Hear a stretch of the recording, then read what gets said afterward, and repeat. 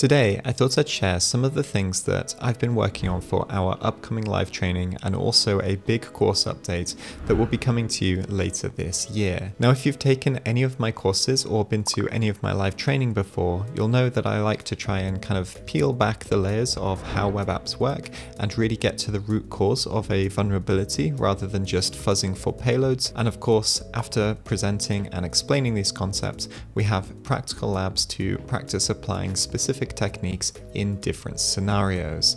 And I really think that this is the optimal way to build both knowledge and skills. So let's take a small sneak peek of our new labs and see how we can solve it. If you enjoyed the video, then don't forget to like and subscribe and let's dive in. So here we have the new lab portal and this is a place where we can manage our labs, launch them, tear them down, etc etc. And basically what happens when we launch a lab is that it builds a fresh container for the application to run in and also if needed it connects other components so things like a database or maybe a WAF for the more advanced ones or some of them have uh, an API gateway and might spin up multiple containers because it's a microservices environment. Now in my training I usually like to do 10 to 20 minutes of theory and demonstration and then give some tasks or labs for students to work on. So for example we might walk through union select payloads against against a local database so that we can understand the structure and the results of this payload, and then also debug the application to see exactly what is returned to the application and then exactly what the application is doing with the results before passing them back to the client. Because remember that when we have things like injection,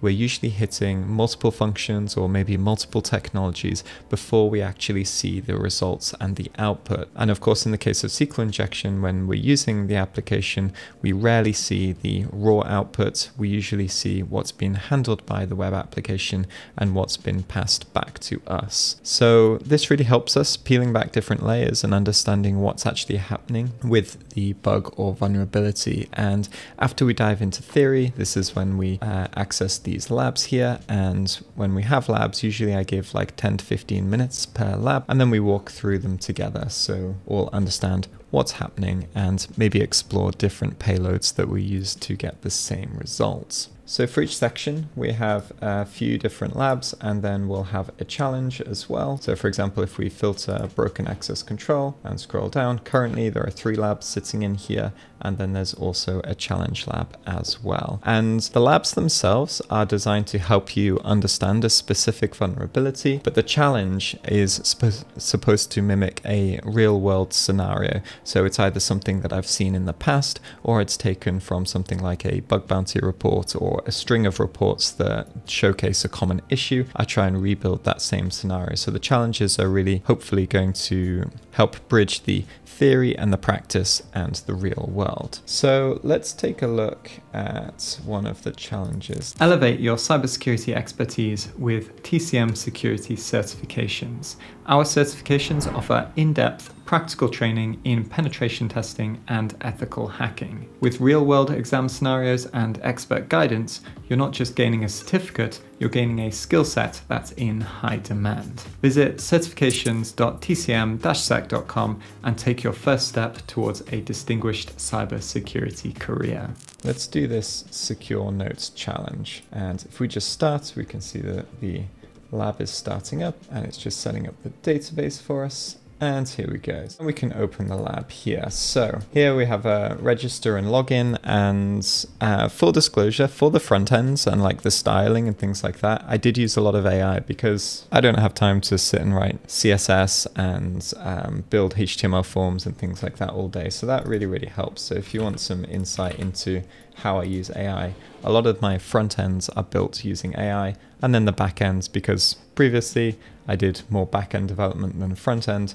I generally build the back ends myself. And so here, what we can do is we can come in and log into this application. So let's see, looks like we have our Secure Notes app. So we have public notes and we have the admin and this requires admin privileges. And if we come back to here, there is actually a task that's defined. So it says find and exploit the broken access control vulnerability. So in the labs, in the practice labs, usually there's more specific tasks. So, but in here it just says find the vulnerability. So this gives us a little bit more scope for exploring the application.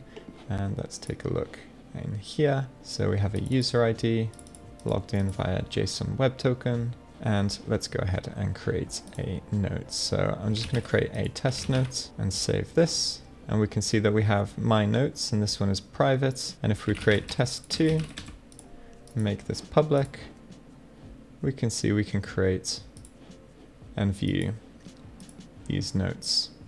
So if we come to here, let's have a look and see what's happening with public notes. We can see that there are a bunch here. So travel tips, book recommendations, welcome, public recipe.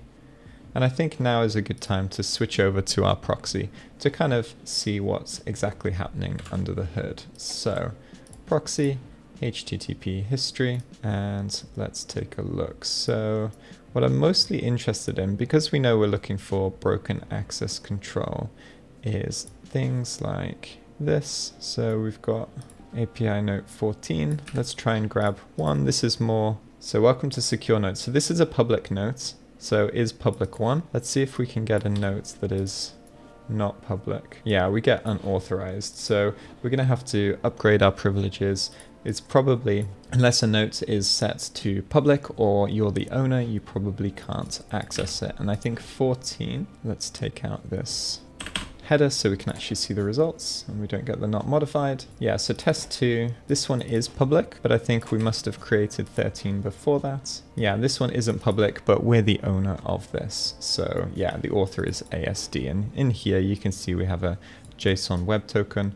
Looks like the token isn't signed. There's nothing on the back here. So let's take a quick look at this. And all I'm going to do is pull up Chrome. Oops.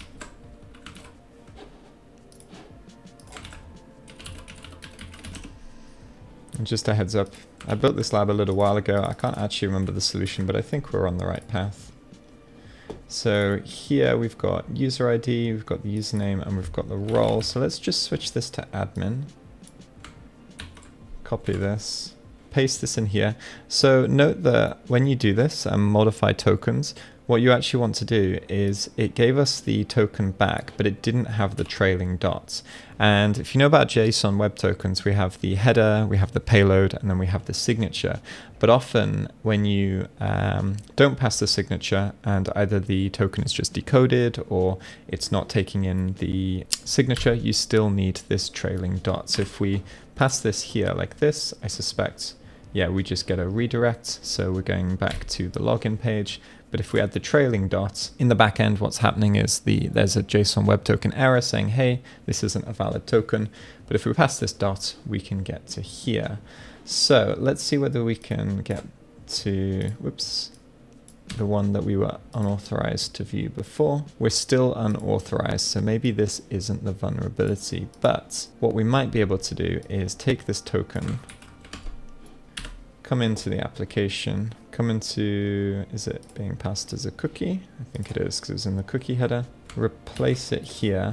Now we could do this with intercept with Burp Suite as well, but it's sometimes easier just to place it in the application so it gets passed each time. And then we come to the admin panel and then we get the flag. And of course we can submit this flag to the front end and then continue on our journey. So currently this is the flag that we have for the dev environment. So this is not the exact flag that we're going to submit. We're going to submit something slightly different.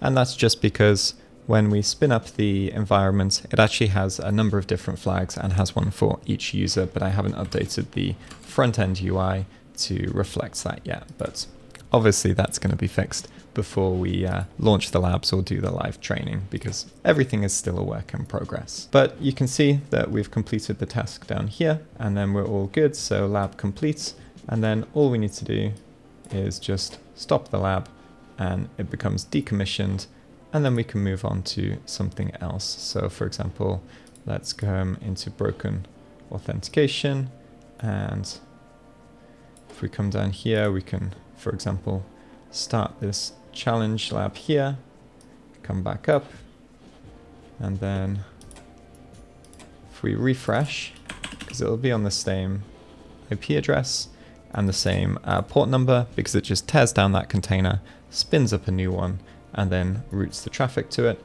we come to a different lab. And that's it for the sneak preview. So hopefully these labs will be up and ready for the live training in August. And of course, like I say, there'll be a big overhaul of one of our courses, which you can probably guess which one a little bit later on in the year as well. So that's a sneak peek of what we've got cooking. These labs, if you want to check them out, will be part of the live training and web app bootcamps coming later in August, but also keep an eye out for a course refresh a little later this year too. It's going to be a big update and I hope you all enjoy it. If you have any questions about the training, then feel free to drop into one of our live streams every Wednesday at 12 ET, or you can swing by our Discord and ask questions there. Catch you next time.